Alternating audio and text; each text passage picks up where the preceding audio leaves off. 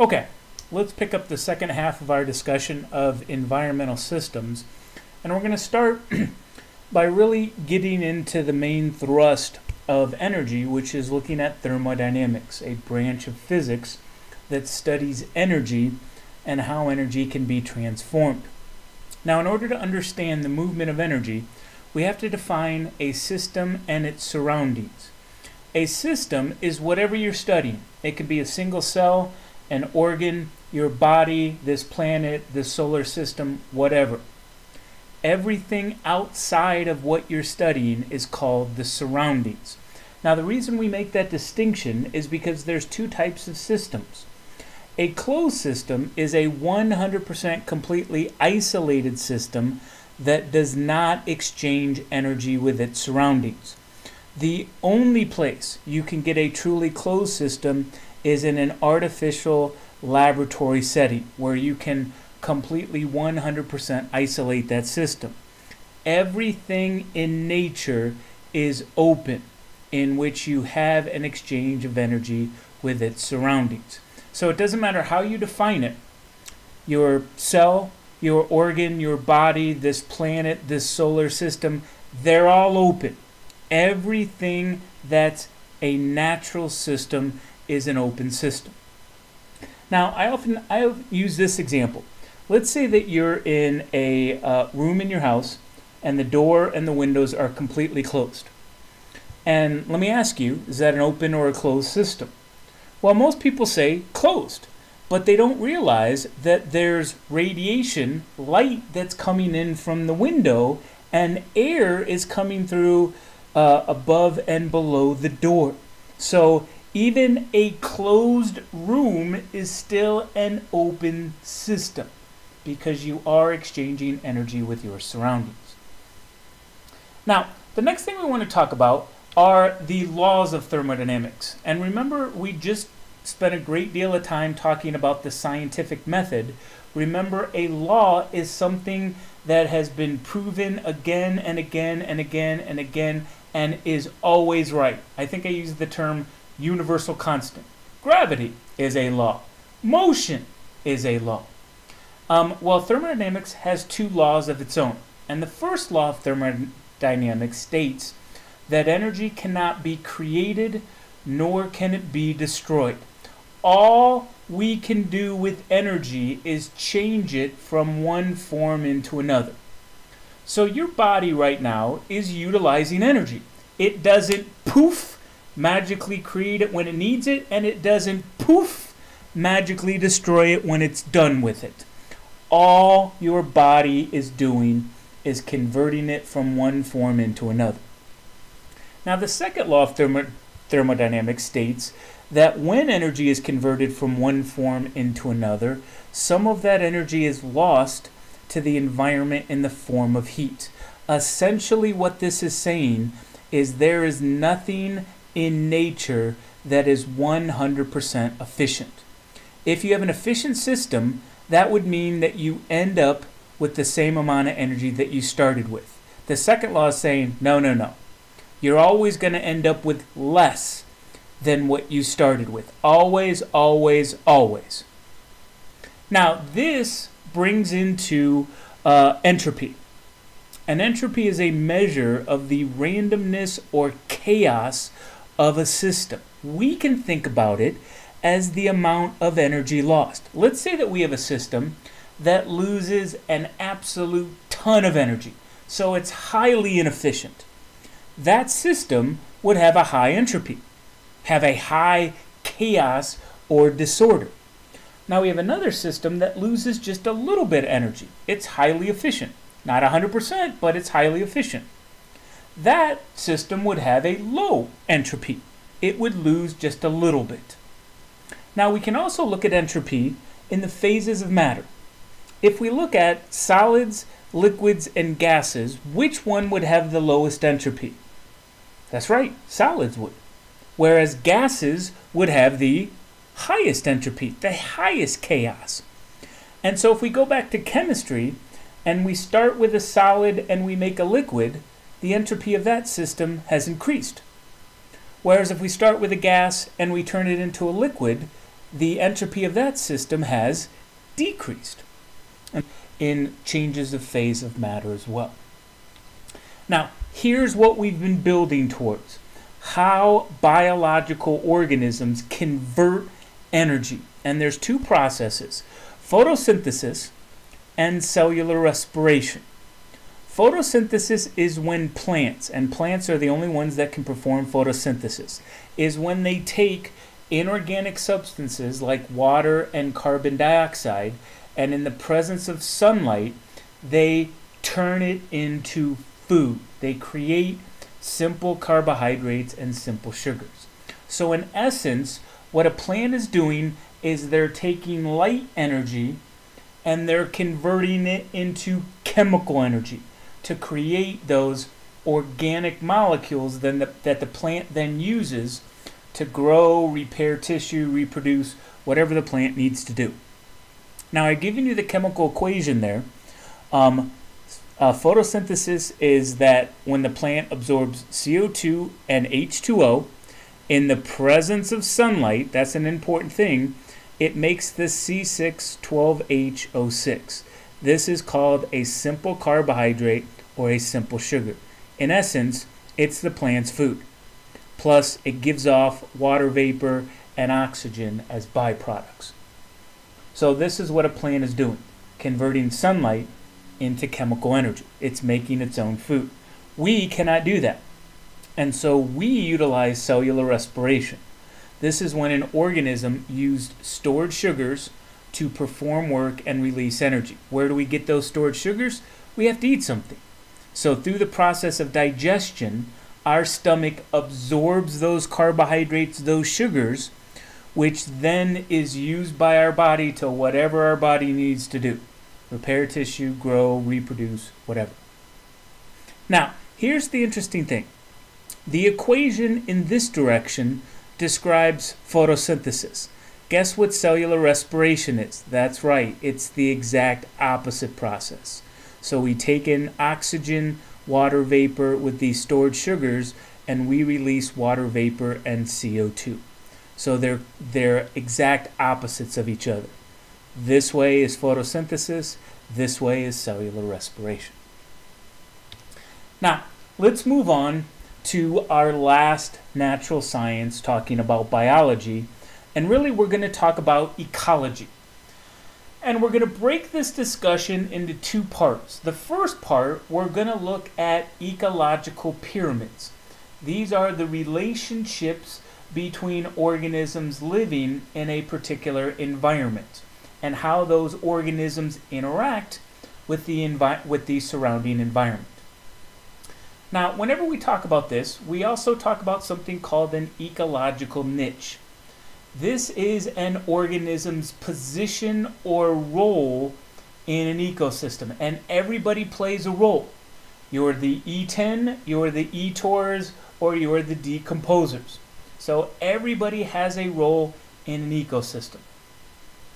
Now that's going to be the first half. We're going to look at um, what an ecological pyramid is. We're going to look at the different groups. The second half of this discussion is we're going to look at how biological organisms interact with one another. And we're going to talk about the three different interactions symbiosis, which is then broken into mutualism, commensalism, and parasitic interactions. Those are types of symbiotic relationships. And then we're going to end by talking about competition and predation. So let's begin. And let's start with our ecologic pyramid. And we're going to start with the most important group on the bottom our producers, also called autotrophs. For, an, for those of you that know, that prefix auto means self. So an autotroph is something that makes its own food. Generally, it accomplishes this through photosynthesis, but there are plants that use other chemical processes called chemosynthesis. I just wanted to bring that up. Most plants use photosynthesis, but there are others that utilize other chemical processes. We call that chemosynthesis. So, what, what, whether you're using photosynthesis or chemosynthesis, our producers make their own food. They take those and they make those organic, simple sugars and simple carbohydrates. In a terrestrial environment, we have a lot of autotrophs. Uh, everything from grass to flowering plants to bushes all the way up to trees. We also have um, autotrophs in the oceans. This is algae, one of the most important um, autotroph groups in our marine realm. Now, if we take a step up, we get to our next group called our consumers or heterotrophs. These are organisms that have to eat something else to get their energy requirements. Now, not all consumers are the same. There's actually three different levels of consumers. We start off with primary consumers. They're the group directly above the plants. They generally, when you're talking about an ecologic pyramid, you eat what's below you. So, primary consumers have plants below them, and so these are typically herbivores, animals that only eat plants we take another step up and we get to our secondary consumers. Now, secondary consumers can eat primary consumers, can be carnivores. They can also be what are known as omnivores, where you eat both meat and plants. So, once again, you're eating everything below you. And then we take a final step up and we get to the top of our ecological pyramid where we have our tertiary consumers. These are our top predators. Now you'll notice there's three pictures at the top there. I have an example of a primary, a secondary, and a tertiary. Let's see if you can tell which is which. The cow would be a primary consumer, okay? Would eat plants below it. Snakes would be secondary consumer, and the grizzly bear would be a tertiary. Now, I want to make sure that you understand this concept, so I want to give you other examples. Let's start with our primary consumers. In addition to cows, what other animals would be primary consumers? Well, horses would be primary consumer, elephants, giraffes would be primary consumers, rabbits would be primary consumers, even some insects like a cricket that eats leaves would be a primary consumer. Okay? Let's talk about secondary consumers. Let me give you five other examples of secondary consumers in addition to the snake. Lizards would be secondary consumers. Frogs would be secondary consumers. Um, a bird, like a robin, would be a secondary consumer.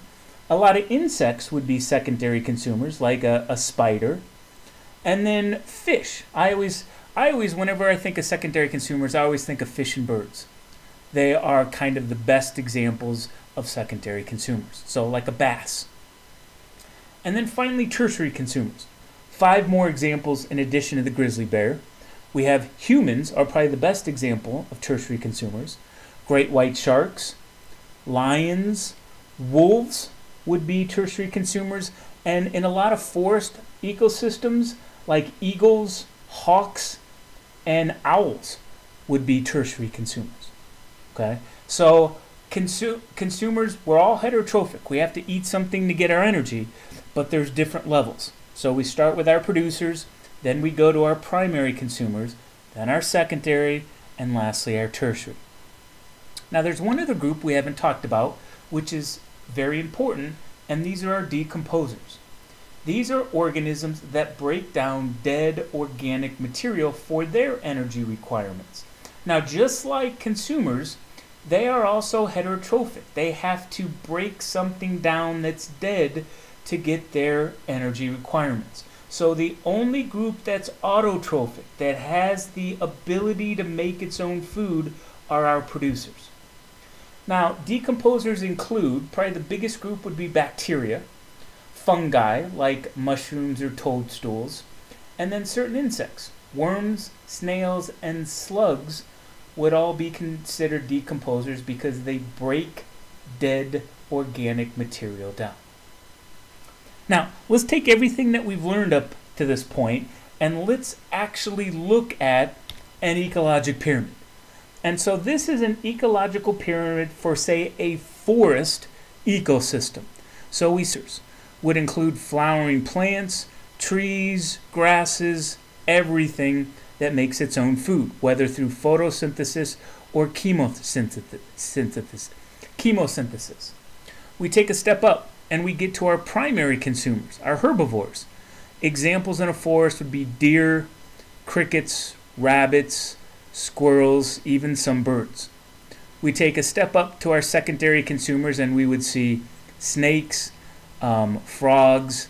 In this case, I think that's a badger. Uh, and then we take our final step up and we get to our tertiary consumers. In a forest, a fox, a mountain lion, even an eagle would be a tertiary consumer. Now, what you don't see are these decomposers that are kind of outside here, and these arrows indicate that they're acting on every single level. So they're breaking down dead plants, dead primary consumers, dead secondary consumers, and dead tertiary consumers.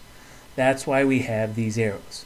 So our major groups, producers, consumers, and decomposers. Now, I want to bring energy into the discussion of an ecologic pyramid. For every single ecosystem, the primary energy source is sunlight.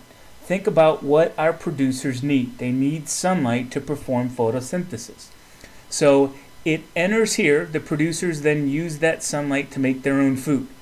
The consumers eat the producers or eat other consumers to get their energy, and then the decomposers break down the consumers and the producers. In each case, when they convert that energy, they're giving off heat.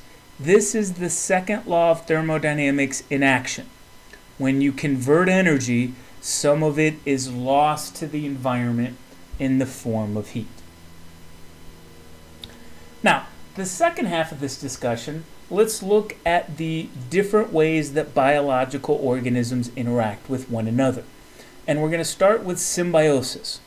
And symbiosis describes a close and long term relationship between different biological species it is usually the result of something called coevolution. I know we haven't talked about evolution yet, but evolution simply means change. Coevolution is when different species evolve together. So species A goes through time and it changes. This then forces species B to better interact with species A to change as well. So they're not evolving independently of one another, they're evolving together. This is what coevolution is. Now, if you look at the pictures here on the bottom, notice the shape of this uh, pistil of this flower and the bird's beak. Same thing over here. Notice the pistil of the flower and the shape of the hummingbird's beak. This bird can get the nectar outside of this flower. If a bird with a short, stubby beak lands on it, it couldn't get that nectar out.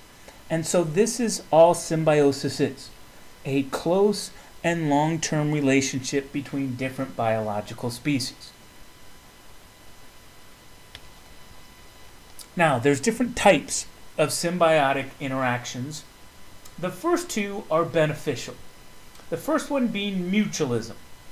This is an interaction between two species in which both receive a benefit. In the case I've given you the example of bees and flowers. Think about what both get out of that relationship.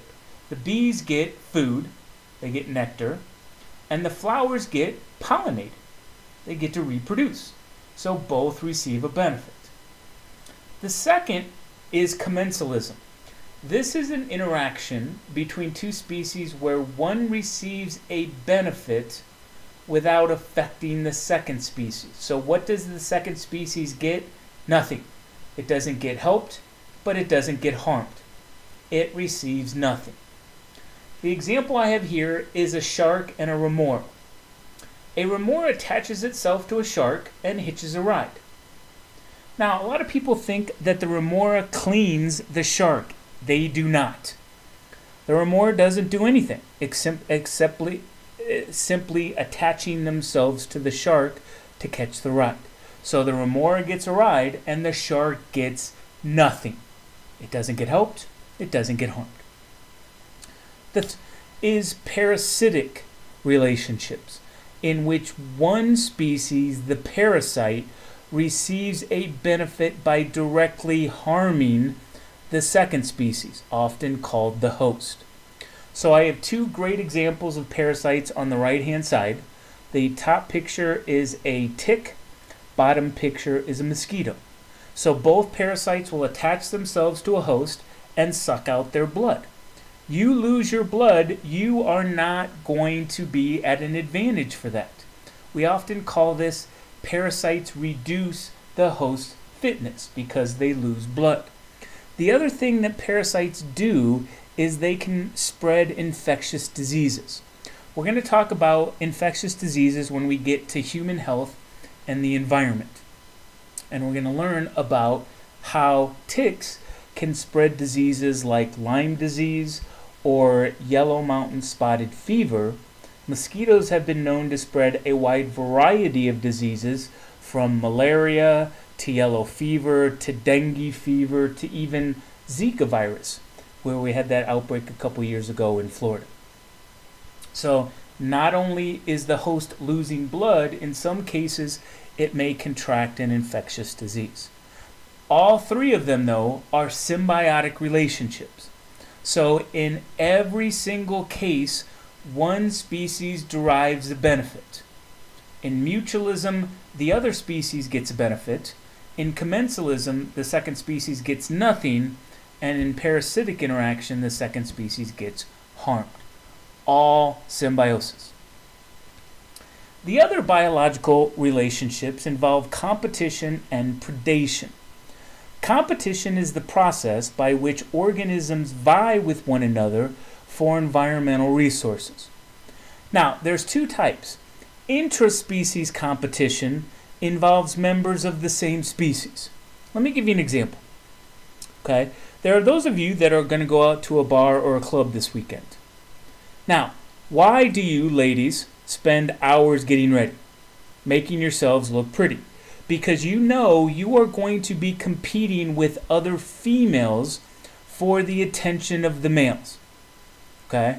Or the attention of other females. No judgment here, ladies and gentlemen. Okay? That's intraspecies competition. You're competing with the other females for the attraction of a mate. Whether it's short term or long term, well, that's up to you. Okay? Men, same thing. Why do you get, why do you spend five, ten minutes getting ready? Same thing.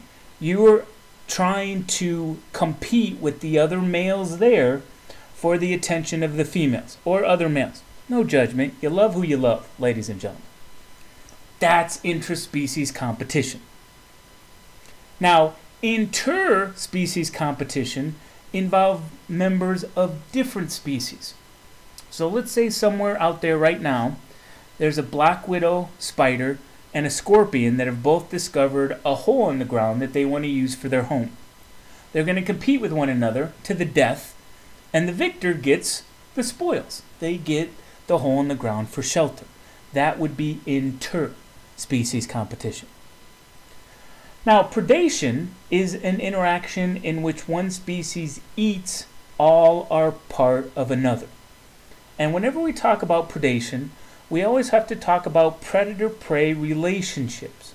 In any ecosystem, there's always an equilibrium or balance that is struck between the eaters, the predators, and the eaten, the prey.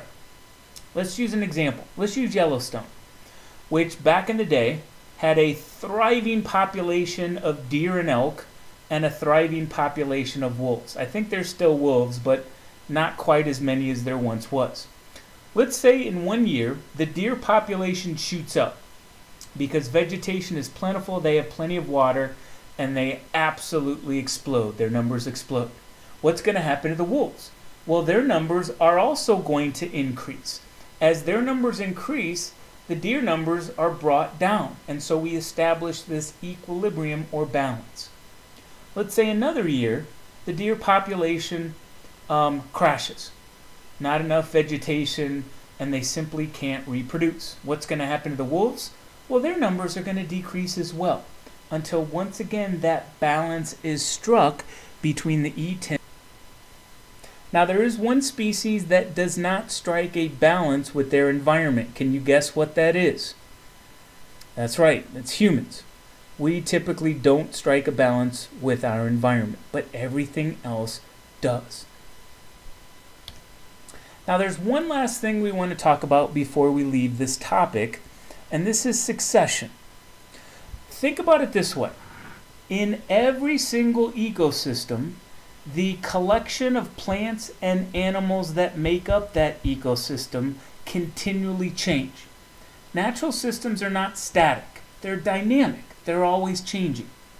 And so these biological communities, and what a community is, is the collection of plants and animals of different species living together in a particular environment. So these communities change over time. And what you see here is a logical progression. You always start with something called the pioneer community. This is the collection of plants and animals that go into an area first, they set up shop, they colonize the area, and they pave the way for other plants and animals to come in. So you always start with the pioneer community. You then move to the intermediate community or communities. Depending on the ecosystem, maybe there's 10 intermediate communities, maybe there's 10,000. It all depends. But eventually that those intermediate communities will give way, give rise to the climax community, which is the last and most stable community in an ecosystem. So it's this logical progression pioneer to intermediate to climax. Now, there's two types of succession. We have primary succession. This occurs in an area where there was no life to begin with. Primary succession does not happen anymore because any area that could have been colonized has already been colonized. But think about billions of years ago when the first life on Earth appears, as it spread into a new environment, that would have been primary succession.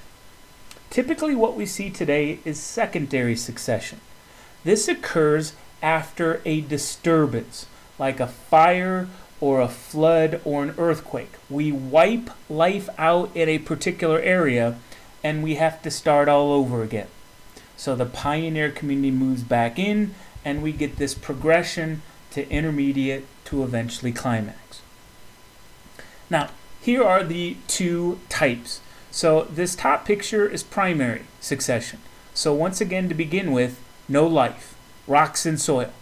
The pioneer community moves in, usually composed of liches, uh, lichens and mosses that inject nitrogen in the soil, which allow then grasses, shrubs, flowering plants, eventually trees to move into the area. Now, once again, pioneer community then goes to the intermediate communities, and there's variable amounts. Each ecosystem may have 10, maybe 10,000, but ultimately you reach the climax community, the collection of plants and animals that is most stable in that particular environment. This bottom picture is secondary succession. So let's say that we started with a climax community that was an oak forest and the oak forest burned down. You don't see trees the next year because the pioneer community has to move back in.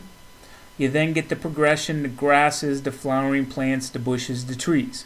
And once again, you move from pioneer to intermediate to eventually climax. Now, if we started with a climax community of oak trees, does that mean that this one will be an oak forest? No. The fire changed things. Now, could it be an oak forest? Sure. Maybe we started with an oak forest, burned it down, and we get another oak forest. But that fire's changed things. So maybe the resultant climax community is a hickory forest or a maple forest. So it doesn't matter, but that force has changed things, so we may work our way to a brand new climax community.